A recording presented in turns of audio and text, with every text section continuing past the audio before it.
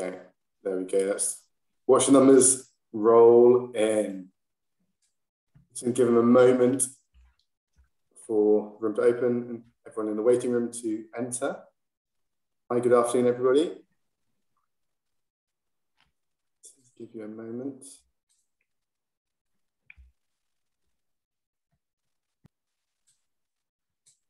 Hello, hello, good morning. Well, I guess good afternoon from both of you, or good evening. Maybe we have a few good mornings if you're in Latin America. Hi from Poland, hello, hello.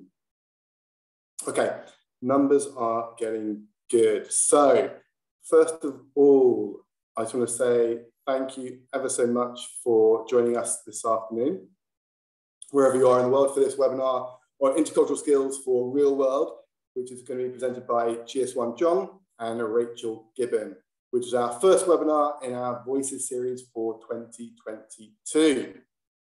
My name is Alex, and I'm going to be hosting the webinar today. Make sure everything runs as smoothly as possible. Now, before I introduce our speakers, I just want to spend a moment to go over some of the functionality, some of the housekeeping for the webinar platform. So first of all, we do want to make this, this webinar as interactive as possible. So please make sure that you familiarize yourself with the chat function at the bottom of the screen. We want you to ask questions, respond to any questions that we ask as the, as the presenters, um, and make it as interactive as possible. But please, when you do that, when you're using the chat, please make sure you send your messages to all panelists and attendees rather than just panelists. Because this way, everyone viewing the webinar can read your message rather than it being a private chat between you and the panelists, okay? Also on that bottom toolbar, you will see the Q&A button. This is to be used for more specific questions that you would like to ask the presenters or, or myself during the session. Uh, we'll do our very best to answer them as they come. In fact, you know, talking to Rachael and Chia, we want you to ask questions throughout and we will do our very best to answer those questions as they come up, as they relate to the session, okay? Um, that said, we will have time at the end for some questions, for a, bit, for a quick Q&A. So again, please use the Q&A box for that. Um, the final thing to say is that I know a lot of you are very keen to get your certificates and other information.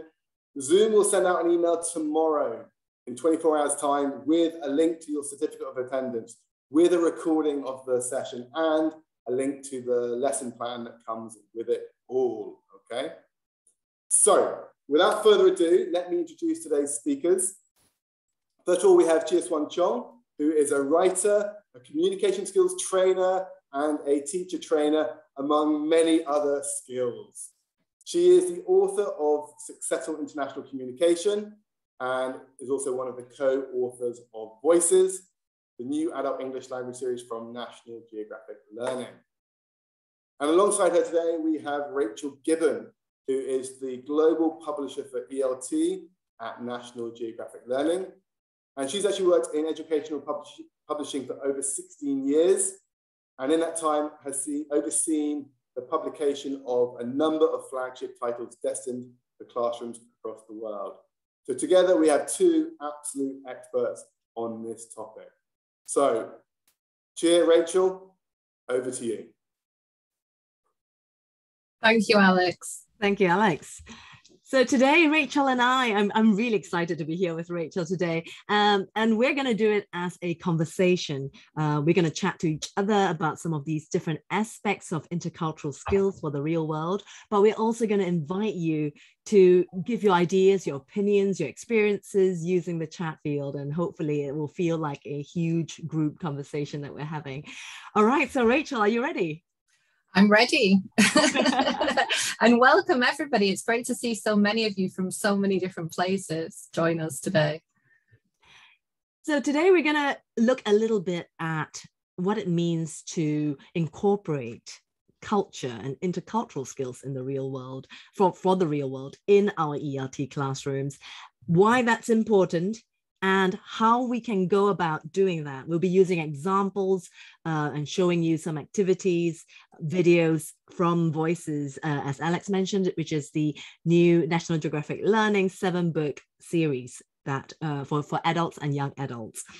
So first of all, how is culture normally incorporated into your English lessons? I'm sure the idea of talking about culture, teaching culture even is, is not a foreign one to English language mm. teachers, is it, Rachael?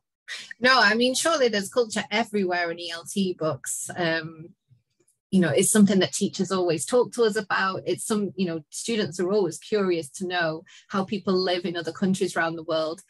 And it's something as National Geographic Learning that we really try to bring the the world into the classroom. So yeah, I suppose we need to dig a little bit deeper though to kind of know what we mean by that. Mm. You see, what, what once I, I was doing this teacher training course, right, and I had a, a teacher trainee um, and she said to me, Oh, I, I do culture all the time in my English lessons. Um, every once a month, I put up the Union Jack all over my classroom and I talk to my students about um, the royal family, uh, who are the members of the royal family in England, in the United Kingdom. Uh, I talk to them about the history of England. And I think these are very important things when learning English. Do you agree?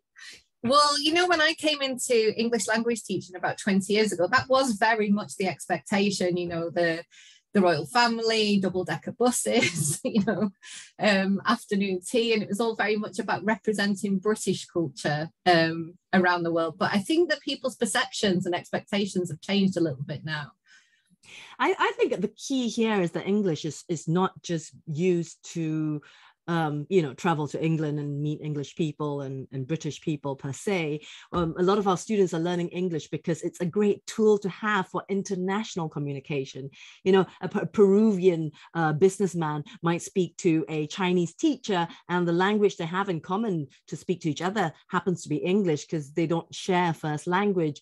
And so they aren't necessarily you know, uh, having to assimilate British culture per se, as opposed to, you know, if you learned Italian, you probably want to learn a bit about Italian culture, etc. Would you say that that kind of summarizes it? Yeah, yeah, I think that's definitely part of it. And people want to bring themselves to a language, don't they? It's not just about learning the language, it's about how they're expressing themselves through that language and bringing their own experiences to it and their own culture to it. So, not just about the culture of the place that that language may have originally originated from. And like you say, English has become a lingua franca, you know, it's become a, a tool for global communication. And, and really, as you know, when we set out and started working together on this, you know, it, it, a really key thing is imagining our learners out in the world and what what are they going to need what kind of what are they going to need to be able to do with language and and that's really a question we asked ourselves. And and then we tried to think of all the different ways that we could equip them for that for for global communication didn't we? Absolutely. I think it's great to see how far English language teaching materials have come, how far course books have come. And I think Voices kind of represents that in many ways because it's about, you know, um, recognizing that English Evolution. is a tool. Yes, mm-hmm. um, English is a tool for our learners, and so what we're doing is we're helping our learners use this tool in a better way. Um, how how about you guys out there using the chat field? How do you incorporate culture into your English lessons?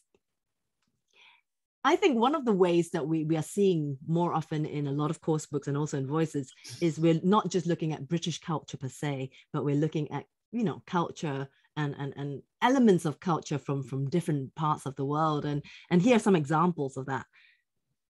Do, do, do you know where these places are? I think rachael knows where they are. I think the one on the right is in sweden and the one on the left is peru. Absolutely. The, the one on the right is um, an underground train station in sweden. Isn't that amazing? It really is. It's really beautiful and and the one in Peru, it just makes you want to go there. it makes you want to travel again. Those are the salt hills, aren't they? Yeah, I mean, it's amazing that that's a natural ph- phenomenon, really. Just amazing that it's natural. and I think this is one of the ways that we can be a window onto the world, really. um, you know we, pro- mm-hmm. we can provide that to students i think one of the most exciting things about learning a language is the idea that it's opening the world up to you um, and this is one of the really nice ways that we can do that in the classroom. And we don't just want to see places in in america or in the united kingdom. We want to see you know all these different places all these you know these natural phenomena from all around the world. Amazing. Um when we talk about culture we also kind of talk about food don't we? I mean i think food food is like this universal unifier. We yeah. all love talking about different types of dishes. And here we have on the right an infographic from voices elementary that looks at you know uh, different trends uh, of food and, and if you look further at the infographic if you look at that page you'll see that it, it even looks at different culture's way of looking at other people's food. So, for example, you know, what do the Italians think about Chinese food, for example, and, and what, what do the Chinese think about French food, etc. And it's just great fun to to, yeah. to to look at the infographic. I remember when I was a teacher, food was definitely one of the topics that provoked some of the most lively conversations, especially because I, I was teaching in Italy and people care so passionately about food um, and i'm really curious to know what other people eat in other countries too. And i think some of the teachers here who are commenting are saying that they like to make these kind of comparisons um, and even talking about how culture differs within the same country um, and making comparisons between their own culture and the cultures of the countries where the languages originate from or other students languages. So yeah lots of different kind of dimensions there Yes, and um, we will definitely in, in, a short while be looking further into what we mean by culture, because just looking at, at culture as a national culture kind of thing is, is one way of looking at culture, but there are also other ways of looking at culture and what we perhaps mean by culture. Mm-hmm. Are there any dishes here, Rachael, that you really would like to try or have already tried? Oh well you know it's not that far off dinner time and it's quite a modest lunch so probably all of them at this point yeah. Um the ber- berbere curry looks particularly delicious. I was just going to say that curry looks amazing. I can't wait to have to try it well, i've got to go to africa to try it don't i? It's from ethiopia it seems. Yeah. right another way of looking at culture aside from tourist attractions places to visit and food we also look at celebrations and we often see there's festivals like the carnivals even simple things like mm. birthday celebrations. Or on, on, on the slide you can see Holi. Yeah and this really kind of gets to the heart of you know bringing people culture bringing people together and how people interrelate with each other that kind of aspect of of cultural understanding Absolutely. And, and through investigating and exploring their festivals and what they celebrate, we also learn about what's important to them, the kind of yeah. values that underlie those celebrations. What makes us human? What makes us human? Absolutely. And here we have art. Two quite different types of art here. On the right, you have sort of more traditional uh, art from, you know, for a long time ago. And then on the left, you have something much more modern. This was uh, an art depicting waves. It's done in Ho Chi Minh City, Vietnam. Am I right? Yeah. Yeah. Art is an interesting one because I think through art we it's almost like a window into understanding the ethos, the values, the attitudes, and even the societal problems of that particular community, wouldn't you say?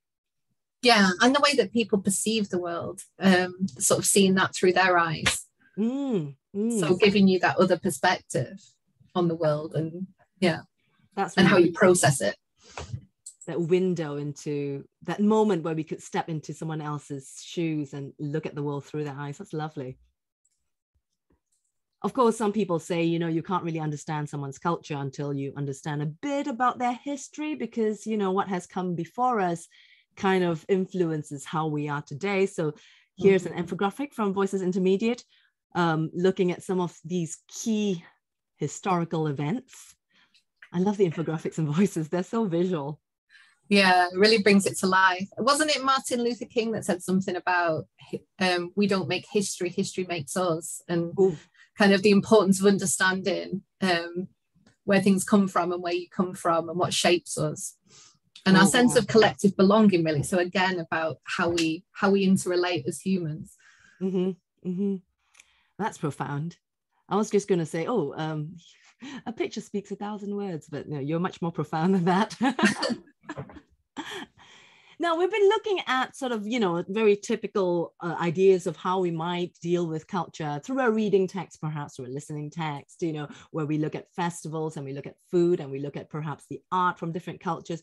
We might also look at certain behaviors that are you know that are different like the way we greet each other might be different. How do you greet each people you meet rachael well, you know, there's kind of the pre-COVID version and the post-COVID version. Now everybody's a little bit unsure. I'm I'm kind of more of a hugger, so you know, I would automatically go over to someone and hug them and kiss them. But um, now you have to kind of really gauge things a little bit more with people because some people feel a little bit nervous now. Um, it'd be interesting to see what it's like in cultures where that's really normal, actually. Um, you know, where it before COVID, it was really normal for people to reach out and hug and kiss each other. Are they still doing that now? Have people gone back to that now? I wonder if they mm. will. I remember writing this infographic during the whole pandemic and wondering whether to put the elbow greeting.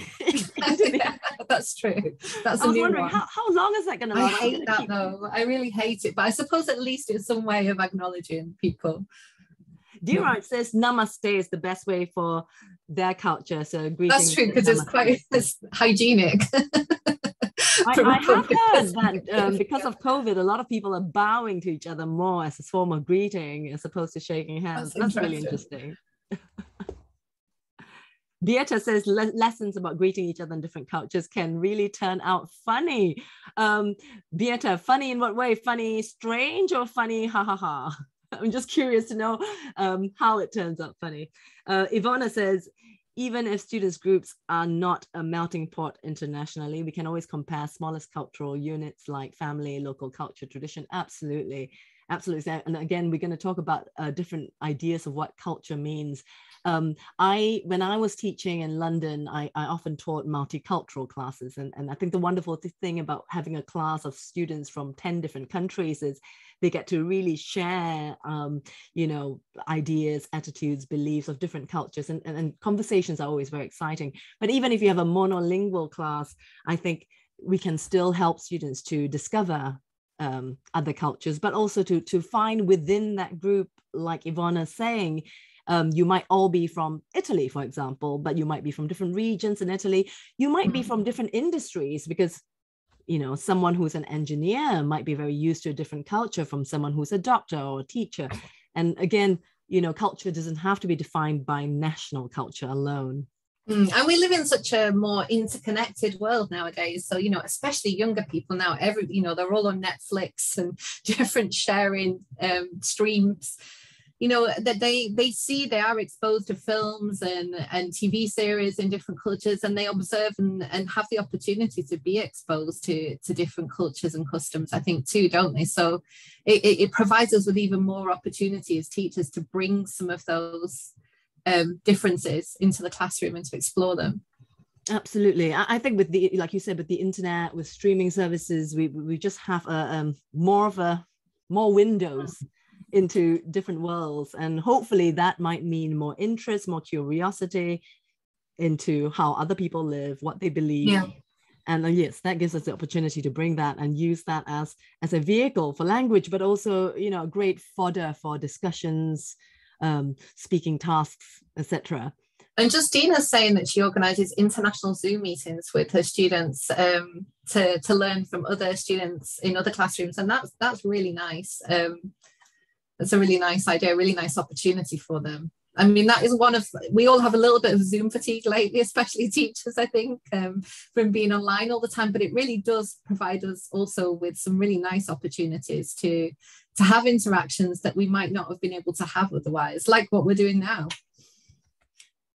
Justine, a nice one, very nice one. yes, absolutely.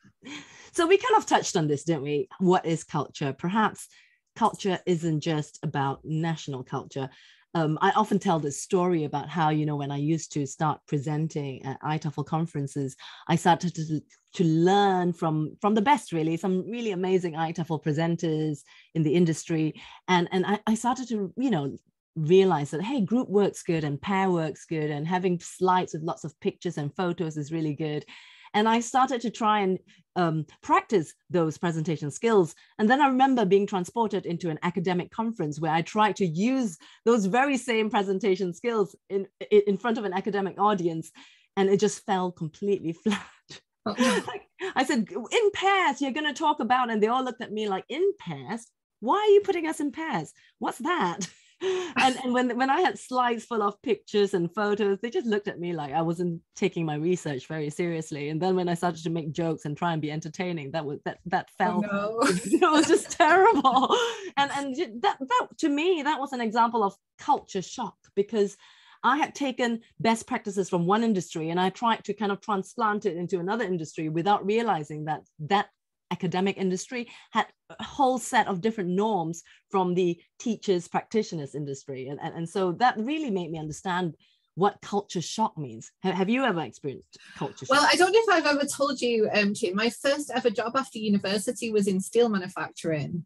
Oh. and i was working for an italian company um and do you know interpreting for them within that. But you know most of my interfaces were you know welders paint sprayers guy and it was all it was a very male environment. 20 years ago steel manufacturing was a very very male environment and a very different kind of communication style much more direct than what I'd been used to in a university environment. So yeah I experienced a really huge culture shock. And and yeah culture really is not just about countries. You know it happens even within families. If you meet someone you know your partner's family. Luckily my partner's family is very similar although they're in turkey you know they've got a very similar kind of um, dynamic of how they communicate to each other as my family. But sometimes you meet a friend's family and realize they're so different you know the the way that they even if they're from the same country they might be very different in their level of formality or how, how they communicate with each other uh, absolutely. You know, we talk about generation gap, and that essentially is, is, is, a bit of culture shock going on there, isn't it? Mm. Because you have your parents who, who have certain beliefs, certain attitudes, certain norms,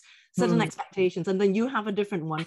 And then you kind of argue with your parents because you think you don't see eye to eye. And, and I think that's an example of culture, cultural difference or intercultural yeah.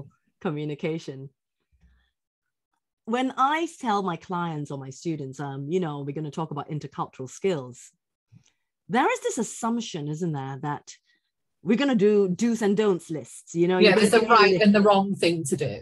Yes, yes. Yeah. Like, you know, when in Japan, you know, remember to bring a gift when visiting an office and don't tip in a restaurant. And and and these things can be really, really useful. But I think one of the things I, fi- I find about these lists is that, like you said, information is so, so, so readily available on the internet. Students can find this information on their own. They, they don't need me to spend two hours doing a lesson on do's and don'ts. They can just go Google it and they'll find blog posts and, and Pinterest lists mm-hmm. on do's and don'ts. that's just one of my issues with this. The other issue I have with do's and don'ts is that they tend to generalize, mm. over generalize and stereotype certain cultures. Have, have you ever had that experience? Yeah yeah you know it's it's it's very difficult to avoid sweeping generalizations isn't it in this kind of a context? Um and and it doesn't really help you understand why. It doesn't help you understand you know there might be a reason that is behind why that thing is a sensitivity and it's more useful to understand the reason behind it than to than to learn a rule because rules are not particularly memorable. That is so so true like you said, you know, it's, it's about discovering the why and then really, really exploring what's under that. Heidi here says, unfortunately, many people think that culture is just a list of do's and don'ts, and that if you follow the list, you'll be okay in that culture. And I think that's the key message I really want to put forward is when we talk about intercultural skills, when we talk about intercultural skills in voices, we're not talking about stereotypes. We're not talking about overgeneralizing. Because if, if you overgeneralize, students there will always be a student in the class who goes, I'm from Italy and I'm not like that. you, you again, you're hmm. opening up a can of worms there, don't well, you? Well, it's maintaining the sense that somebody is different. It's kind of that someone is the strange, exotic other, isn't it? It's mm. kind of hmm. that they're different, intrinsically different to you in some way. But actually, if we want people to communicate well, then we've got to recognize that actually there are lots of things that unite us you know, and you want to look for understanding, a deeper kind of connection with people, which means having a deeper understanding of why they think something or they would normally do a certain thing, because that will provide that connection to them rather than seeing them as different and separate to you and and simply that you're different yeah. and and and yeah you know we'll never be the same and let's just mm. stop it at that you're absolutely right and, and and i think a lot of the people listening to this webinar are probably thinking yeah so if culture's not do's and don'ts then then what is it then? How, how can you cover intercultural skills but not do do's and don'ts? So hopefully the rest of this webinar will will will will um, shed a light on that. So we talked about different cultural filters. See if you can think of any more. Here are just some that i can think of um, you, know, national cultures one, regional cultures another. You know, people from the north of mm. England might have a different culture, maybe, or a different set of norms from those from the south, maybe. Um, culture can be defined by, like I say, age. You know, your parents might have a different culture from you. Um, your profession, a group of engineers might have a different set of norms from a group of teachers, for example. Within a company, I mean, you've, you've got corporate culture, but within a company as well, you could have the marketing department who have, who have a very different culture from, say, the IT department. And of course, this is not about generalizations. This is about really kind of understanding the different factors that influences influence what we expect, what we consider our norms. And I think most of us on here will have experienced this in some form or another, won't we? I mean, if you've gone, if you've got a job in a different school, you know, the staff room in the new school might have a very different atmosphere to the staff room in the school that you were in before, um, and the way that different the colleagues communicate with each other, or the expectations of how formal um, the students are with you um, will mm. change from mm. school to school depending on the culture of that institution. Yes, how formal students are, how open you can be with them. Yes, absolutely. Holliday said, culture is a fluid, creative social force which binds different groupings and different aspects of behavior in different ways. And essentially, that is the definition of culture. We can't deny that culture exists. You know a group of people when they hang out for some time together and if they have history together may it be a group of friends or group of colleagues or uh, uh, uh, you know a group of people managing a business together they start to have certain aspects of behavior that becomes kind of like a silent agreement that, that that's the expectation of behavior that's that's how mm-hmm. we react to things. And that force becomes what we know as culture. But again culture is not static. That changes because we might behave one way when we're at work and we then might change that behavior when we're with our kids at home. And so remember that it is a fluid and very changeable social force. Yeah a creative social force is, is just such a lovely way to put it i think isn't it? Because it recognizes the kind of dynamic nature of it the fact and that it's formed by people. It doesn't just exist in isolation. So you know it is kind of the, how we create a sense of belonging essentially to something. Absolutely. But of course some of you might be thinking so we can't you know we don't want to do do's and don'ts. We don't want to stereotype. And it's all fluid and changeable. Mm-hmm. so how do we deal with this this this very fluid creative social force then? Now before we go into that and I'll, I'll promise to show you lots of examples from voices um why though why is this important why why should we be dealing with intercultural skills and this fluid social force with students Oh, Nazar is asking, why is it a force? Hmm. So I, th- I think it's a force because it's a powerful kind of energy, isn't it? it it's something. It's, it's something that kind of governs how we behave, our expectations, yeah. the way we see the world. I think that's what it is shaping. It's a force that shapes something, doesn't it? And it shapes the type of relationship we have, the interactions that we have. It has that influence. So I think force in that sense of influence. Mm, I love um, that. Yeah. The influence that shapes us. Oh, that's beautiful. And we're getting lots of ideas about why this is important. So in, avoiding preconceived notions, Pierre is saying, Dheeraj is talking about minimizing conflict. Mary is talking about promoting understanding and tolerance um, James about building empathy. Dheeraj mentioned minimizing conflict. It's something that I, I, I feel very strongly about. Um, you know, I, I think sometimes it's easy in an English language class to kind of only focus on sort of happy things like, you know, let's talk about holidays or what's in your backpack. what you did this weekend. Yeah. Uh, but but i think you know it, it, we can't deny the fact that our students are going to go out and use english and they, are going to get into situations. They're going to get into misunderstandings miscommunication. There's there might it might not be a massive conflict. It might not be an argument but there might be certain elements of you know oh that person's really rude to me or you know oh i don't think that person got me right? I, I meant this and he misunderstood us as that. And, and to not ignore that type of conflict and to kind of really address it and say how can we use conflict to help build relationships to make our relationships stronger? Yeah and ian's taken it that sort of extra step as well. So the to find common ground really in order to be able to do things with others. So mm. you can achieve things together so that there is that kind of positive action side of it um, I think that's quite important too. And the reason remember, we want to forge good relationships with people is is so that we can that we can do positive things with them, that we can um, achieve more together. Yes, ab- absolutely. If I remember co- correctly, in uh, in in Voices pre-intermediate, that there's even a whole section about how to find commonality, how to find common ground, and when mm. you meet someone for the first time. Let's have a look at these ones here. So we said earlier that our students are probably going to use English as a tool to communicate with people from different communities. And I think the moment our students use English, they're instantly engaged in intercultural communication. And we can't deny that. Mm.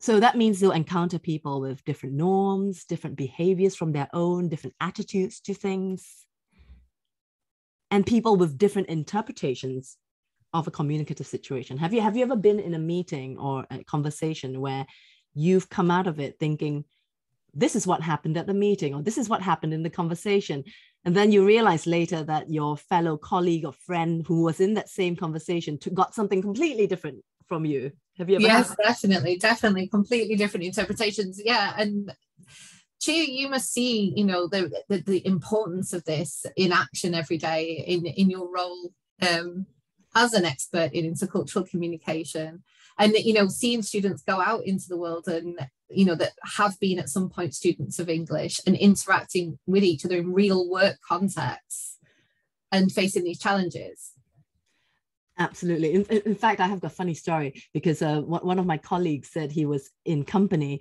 watching how some people were communicating in English, and they were they were in an office um, and they spoke English as a second language. And they were on a Zoom call, a, a, sort of virtual meeting with another group of people from another country.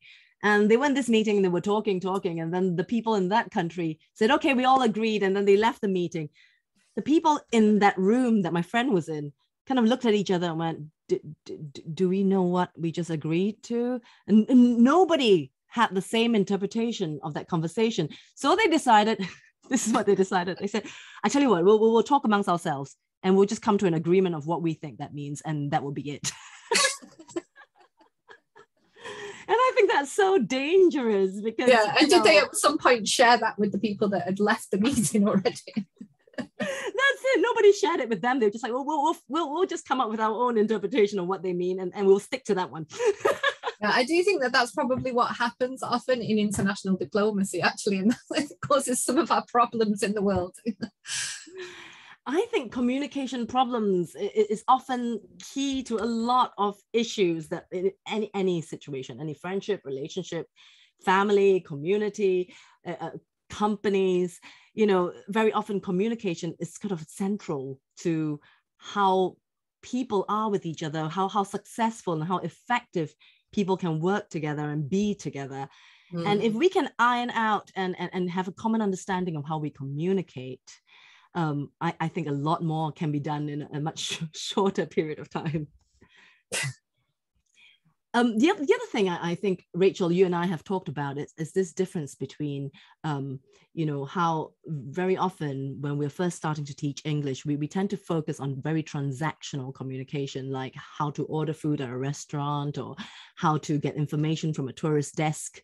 Um, and, and, and we kind of feel almost like, you know, as English teachers, how do we bridge that gap between going from sharing and getting information with english to building information uh, building relationships in english yeah because they're kind of quite transactional yeah the, those situations that you're talking about they're very kind of you don't necessarily need to build a relationship with somebody in order to buy a ticket from them. but then if you, you know, you just need the basic skills of being polite, being clear. But uh, if you're going to work with somebody, you know, on a regular basis and have regular communication with them, or if you're trying to build a friendship, obviously there's a whole set of other kinds of skills that become important. Absolutely. And I, suspect, I, I think this is what Piotr is saying here, is that intercultural competence is often neglected in class materials. And I think perhaps because it's it's kind of nebulous, it's kind of ambiguous. How do you deal with relationship building? It's such a massive yet vague topic, and and people shy away from that. It's, it's much easier to say, here's the language to give suggestions and recommendations. Here's the language to command someone to do something. Here's the language to order food with. But it's less easy to say, oh, here is how you build relationships in English with people. Yeah, they're easy things to tick off and to concrete things that you can say that you've done. Whereas this is just such a huge area. And maybe mm. also we we sometimes shy away because we think they're already adults. Why are we explaining to them how to communicate? Mm. You know, mm. but as you know, you you're you know you have worked with people who are L1 speakers of English who've grown up speaking English, but they still don't have the, the, the, necessary skills and they recognize that they might need to develop the skills that are needed to be effective communicators in intercultural situations. You know, it's absolutely spot on. Absolutely spot on. Yes, effective communication is not about you know your your your ability to use the language as a as a sort of C2 speaker because if that's the case then every first language English user are, you know, will, will never have a misunderstanding and they will all be expert communicators, which we know are not is not necessarily true. I think everyone needs these intercultural communication mm-hmm. skills, whether you are an L1 speaker or not. Absolutely, absolutely. So from there, now we, we know that it's important that we help our students with this. How can we do it? It seems like such a huge topic, almost scary for us teachers. You know, we're English language teachers. How can we deal with all this stuff? So how we do it in voices, and hopefully that kind of addresses Piotr's comment that you know we're going to have intercultural competence not mm. neglected but addressed in voices and addressed in a big way.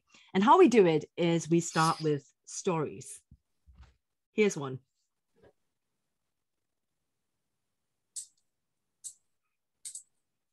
Have you ever had an experience like that before, Rachael? yeah, I feel like there's a whole new culture on Zoom that we need to develop because it, it, with with the delay in timings, you know, understanding when to interrupt people when there's a gap, um, it becomes a lot harder. But yeah, there's definitely. Um, thankfully for me, you know, I'm from a family culture where everybody interrupts each other all the time.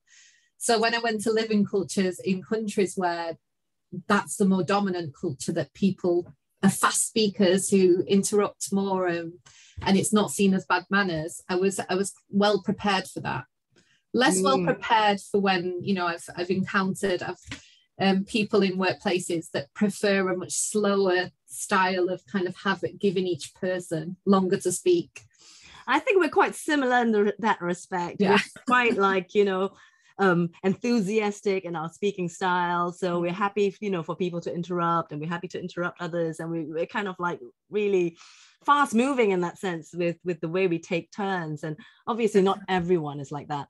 Um, this little story is was was taken um, and sort of adapted from um, Voices Upper Intermediate, uh, where you see this infographic.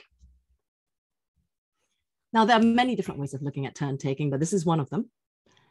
You've got bowling, which is like Rachael, what you said earlier, people with a much slower mm. pace, people who are happy to have silences between turns, people who don't really like to interrupt each other. And there's a real sort of almost a hierarchy, as in who goes first and who goes second, and lots of pauses in between to really think about what that person's just said. I, on the other hand, uh, I think I suspect, like Rachael, we are rugby communicators. We're fast paced, you know, we're happy with interruptions. For me, when I meet someone who's a bowling communicator, I almost sometimes feel like those pauses are awkward silences that I need to fill. And I've got to remind myself, I've got to take a step back and go, no, no, no, no, no, don't fill those silences. Maybe those silences are not awkward, they're just needed, necessary silences. yeah, and also, yeah, I mean, the other thing that I find challenging about that is in order to really listen, I need to communicate. so, so if I have to sort of not speak for long periods, I find it quite hard to maintain attention. So if you find mm. yourself with a bowling person and they're speaking at length, you know, my way of of, of listening is to contribute. I, I, I totally get you. I'm totally on the same page there. You know, one one student of mine, I remember I had a class and we we, we had a massive lesson about bowling, basketball, and rugby. And the students were in pairs, you know, like really unpacking that story that you just saw with with June. Yeah. And, and I remember at the end of the lesson, there was this one student, she was from Turkey, and her face, that expression on her face was just unforgettable. She looked at me and she just suddenly, it was like a, this eureka moment. And she said, Oh, wow, I get it now. Hold on. So I have some classmates, and they never really talk much in class, and they don't always put their hand up, and they, I thought they had no opinions and they were just boring oh, maybe they do have opinions, but they're just bowling communicators. And, and that look on her face was unforgettable. It's just like this aha moment. And that's kind of what I really hope with these communication skills and intercultural skills spreads in voices is that aha moment that students might mm-hmm. just get that very, very simple piece of information and go, oh, I see. Yeah, it's giving them that chance to reflect and really think about their own communication style. Mm, absolutely. Here's a slightly different one. Here's a quiz for you. So we've gone from infographics to quiz. In the chat field, and, and, and you too, Rachael, where would you stand on this scenario? So you've got Dorina and Erica, and Erica makes a mistake in English. Dorina corrects her, even when they're with other people. I think this is a classic kind of example of the situation you talked about before, where different people will have very different interpretations of what's happening here. So, what is your already getting lots of B's, a B and lots of C's. So lots of people who think this is impolite. Oh. Or are you influencing each other, or do you really think so? Ah, that's a good point. Lots of people agree. A couple of B's, a couple of people who think it's neither polite or impolite.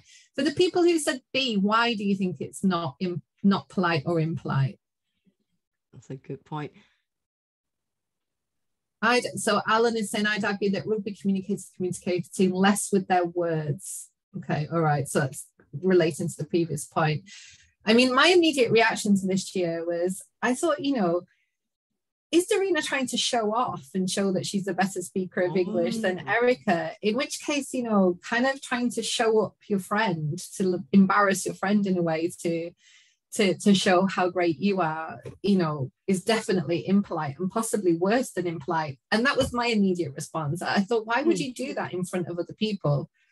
Yes. Yes. What did um, you think? Excuse me, sorry. I think that with other people, there's the part that disturbs me because um, I think in a lot of cultures, I come from Singapore and face is a big thing um mm. you know to to embarrass someone in front of other people is is you know is making them lose face and i, I think face is, is a very very important cultural concept in a lot of cultures in a lot a lot of cultures and mm. in fact so important that i believe in in in um, voices intermediate plus we have a whole double page lesson on face and, and and how different people consider what's you know what makes them lose face because what makes me lose face might not be the same as what makes you lose face and and, and i think mm-hmm. with these things there are no correct or incorrect answers but the, the whole idea is to to really help students to and teachers as well to reflect and to really think about different perspectives and even different contexts yeah and and a lot of people are pointing out here as well that consent and pre-agreement is also quite important here. So if they make the agreement that that is you know that that behavior is acceptable and it's you know um, accepted and welcomed by erica then it would be okay. Um, but if there's not that prior agreement between them mm-hmm. that's what kind of makes it not okay. Yes context is everything. Maybe mm. erica said to dorina dorina you know correct me no matter what I what happens, whatever situation we're in, just just correct me. So we we, we don't know the context fully, I suppose. There's mm. that too. But let's go by instinct. Instinctively, looking at this scenario, would you say it's A polite, B ah, neither, or C impolite? Where do you stand with this one? Yeah, it made me wonder whether or not, you know, it's David asking questions that Jean So feels a bit uncomfortable about. You know, maybe he's asking him something that he considers too personal, or maybe he just doesn't really want to engage in a conversation. Or maybe David is of a higher position than Junso. Like maybe David's his teacher or his girlfriend's father, and he's giving the one word answers as a sign of respect because he is used to a more hierarchical style of communication. Might might that be one? And a lot of people here seem to be thinking this one is neither polite nor impolite. Mm. Yeah. Mm. Michelle's asked a very good question. What's their relationship? What's the context? Mm. Oh, Junso is showing David she's not interested in him, says Alan. Such a di- such different interpretations Yeah. of a simple scenario. And, Uh, and it just somebody's assuming Dheeraj is assuming it's teenagers. oh, That maybe Jean So is a teenager. is, is it because teenagers are, are, are sort of I'm, I'm overgeneralizing, but but do teenagers are, are teenagers known for giving one word answers? I don't have any teenagers. My kids are very young, so I- all that to come ahead of me. Here's another one. Now this this one, I'll tell you this. I had a class some time ago, and this topic was the topic of conversation in my class for a good half an hour. My class was just arguing about this, whether it's polite or impolite. What do you think? And I think all sorts of things will affect this because, you know, some for some people it will be about gender um, and whether or not, you know, there are perceptions around whether a man should pay or not.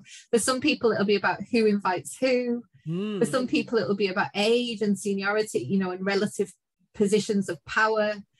I know that, you know, I've been very influenced by my time in Italy where, you know, if you invited somebody, that meant that you paid um, you know, that's the kind of general rule usually that the person who invites should also offer to pay. And, and that would generally be what I would, my impulse would be to do that.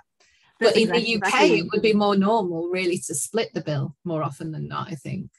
That's exactly what my student said. My student, uh, I think she was from Colombia, and this actually happened to her. So my student was Miller, except her name isn't Miller. I've changed the name, but but um, she she was asked to go for dinner, and then the guy then says, "Can we pay half the bill?" And she was outraged. She was like, "He invited me."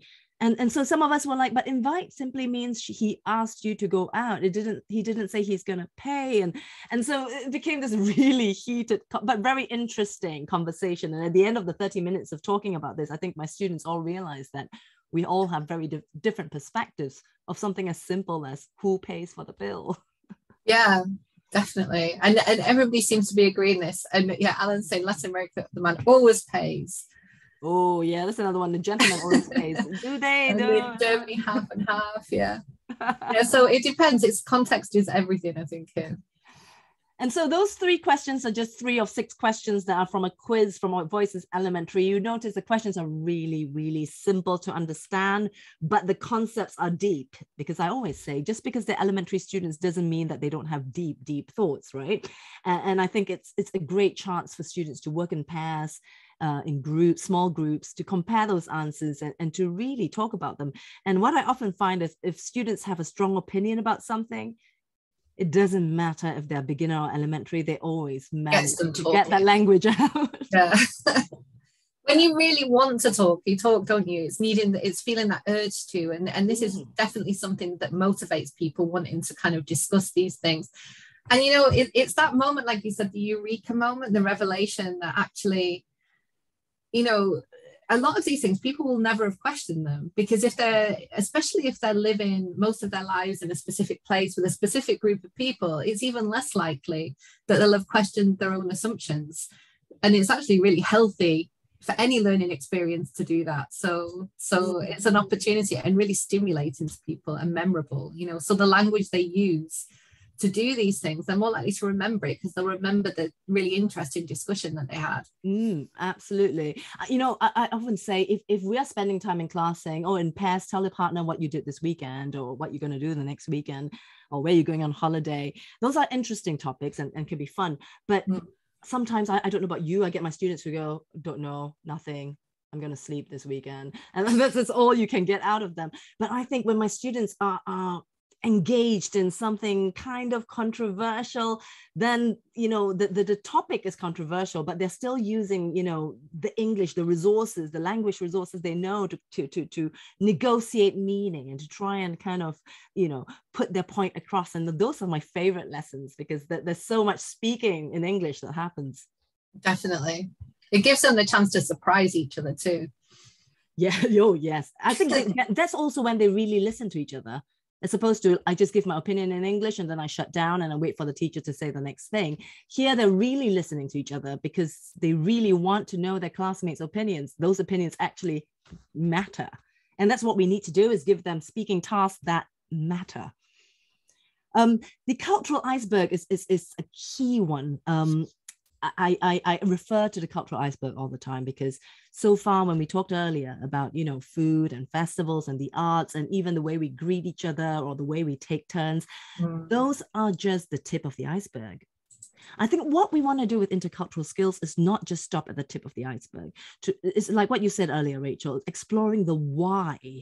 Let's go beneath the water level and to really understand what gives rise to those behaviors, those customs, what are the attitudes, the beliefs, the values that underlie that behavior? And through understanding that, it helps us to gain awareness, not just of the other person, but of ourselves as well, our own beliefs and attitudes, and how that might be similar or different from the people we're speaking to. Mm. So here's an example of how the way we do things our behaviors might be different. And, and and you know if you look under the iceberg you might discover a bit more. So a quick experiment here.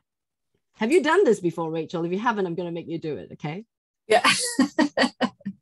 But we're going to make people do it in the chat. Let, we're going to make people do it in the chat. yeah Okay. Like everybody just type the first words and the first things that you notice. Okay. So I you're going to look at yeah. a photo for five seconds first. Don't type anything. And then when I take the photo away, I want you to put in the chat field what do you remember from the photo? What do you see yeah. in the photo? Okay. There's no right or wrong answers, but it might reveal something to you about yourself.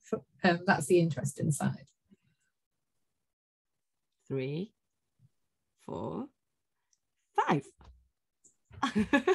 We've got Allah is saying nature. Oh, okay. Celia, landscape, trees, picnic, family and friends, green hills, family under the tree. Lots of oh, picnic, people noticing the food. Very interesting. Cottage, connection, harmony. Harmony. Oh. Some very poetic answers here. Right. Why am I doing this experiment with you? Uh, I'm going to play you a video from Voices Intermediate, and perhaps that might give you a clue as to why I did this experiment with you. Uh, let me know if you could see if you can see the video.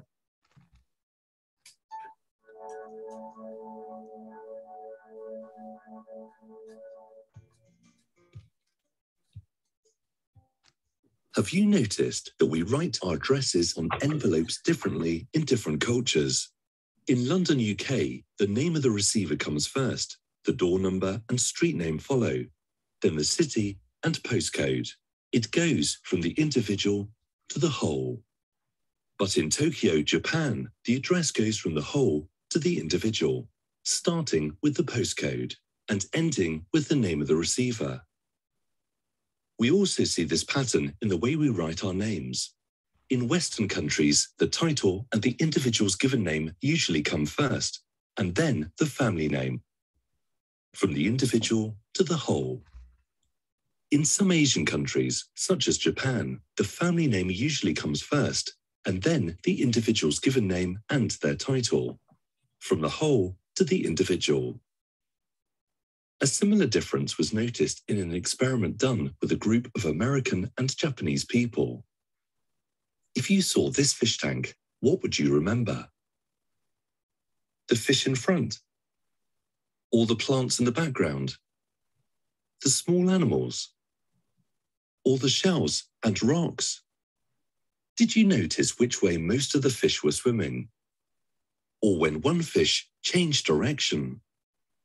Scientists found that the American people were more likely to start by describing the individual fish in the foreground, whereas the Japanese people were more likely to start by describing the background. The Japanese people also talk more about the non-moving objects and the relationships between the objects. This is because we all process information differently and have different ways of making sense of the world. Some people see things from part to whole. They often focus on the foreground and the individual's characteristics. Others might tend to have a more whole to part way of thinking.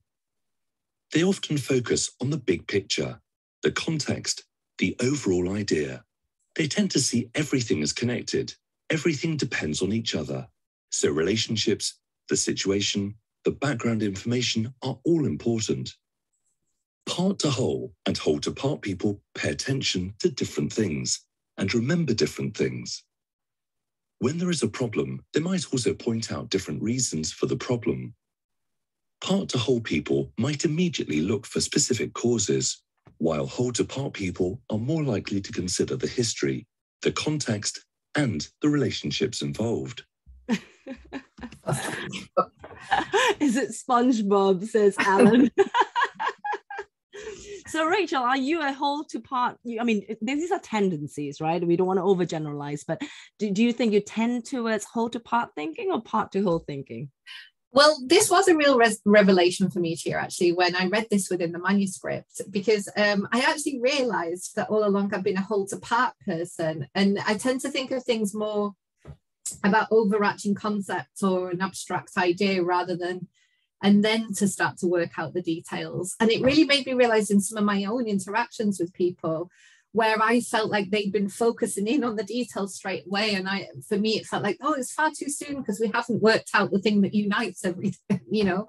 And it really gave me an insight into that um, that I hadn't recognized before. We are so similar. I, when I have conversations with my husband, he's constantly like, you know, come on, get on with it. What's the point you're trying to make? It's all, enough with the background information. and of course he's the opposite right he starts with the with, with the part and and and he starts telling me about the, the, the main point of the conversation and i'm like whoa i have no context here what what do you need this for um and, and of course i think the idea is to first be aware that people process information differently and then to try and perhaps adapt when we meet people who are different from us so if you can see here, we have a communication skills box in, in, in every lesson when we deal with uh, a different communication skill. We often have a communication skill box with a couple of easy to remember tips and strategies. And here, the strategy is this be patient, listen and ask questions, try to see things from their point of view. If they're whole to part thinkers and you're not, make connections between what they're saying and the main topic. Help them to see those connections. If they're part to whole thinkers and you're not, then help them to see the connections you notice by discussing them.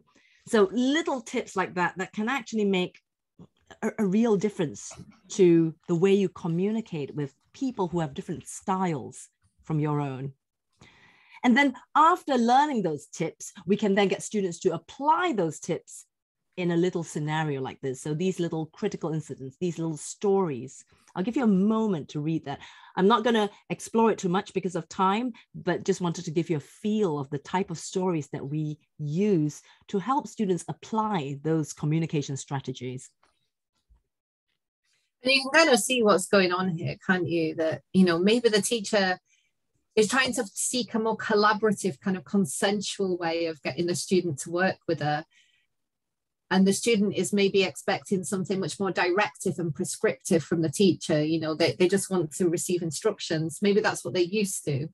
That's the way the kinds of relationships they have they've had with teachers before maybe Yes, yes, those expectations sometimes is just built upon your own experiences in mm. the past with teachers from the past. Absolutely. Um, Piotr is making kind of an interesting point here. He's asked about whether Voices is a business English course book or a general English course book.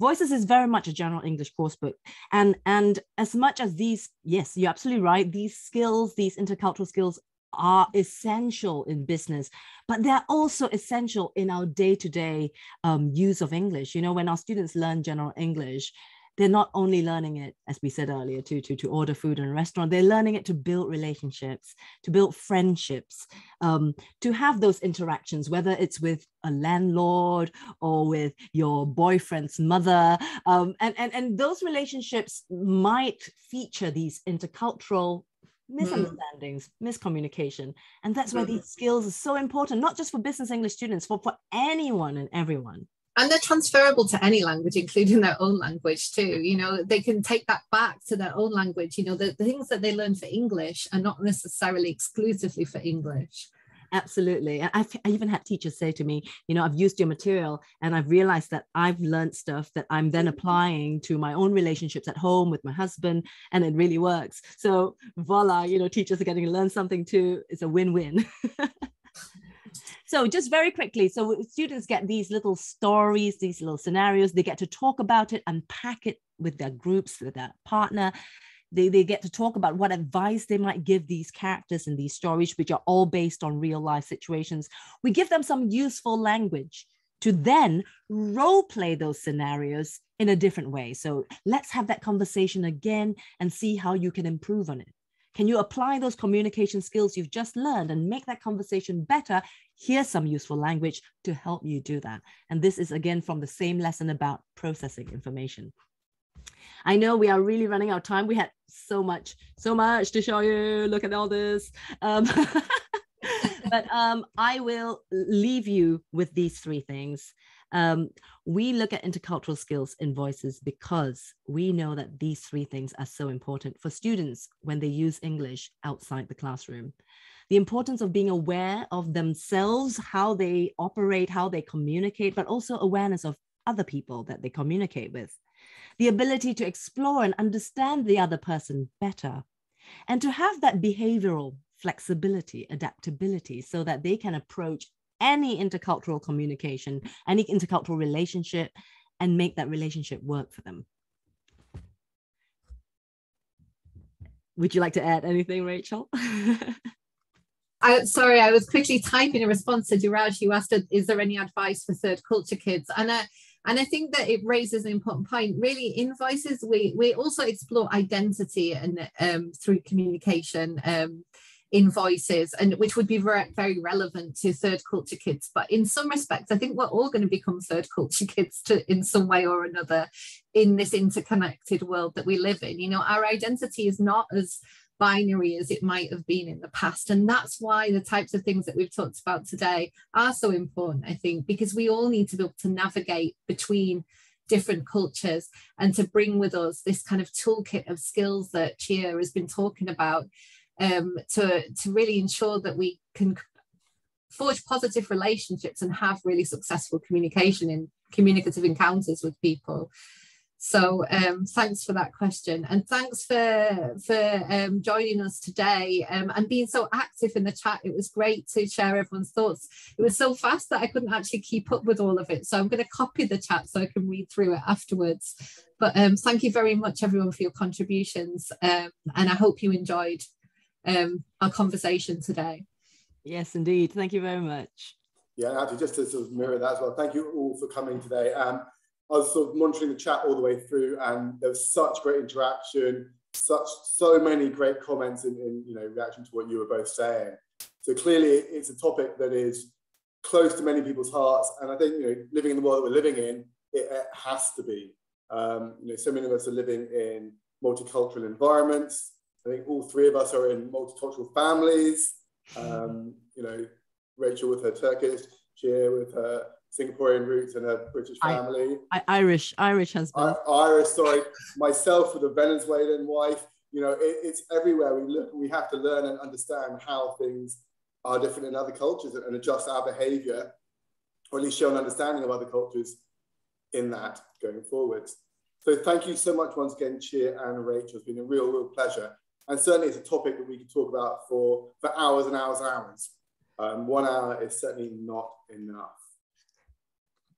Thank you so much, Alex, for having us. Well, no, thank Thanks, you. Alex. That's my pleasure. And to everyone else, um, thank you once again. But before we, we, leave, I just have a couple of sort of not notices for you. Um, so as I mentioned at the start, you will receive a email from Zoom tomorrow. This will include your certificate.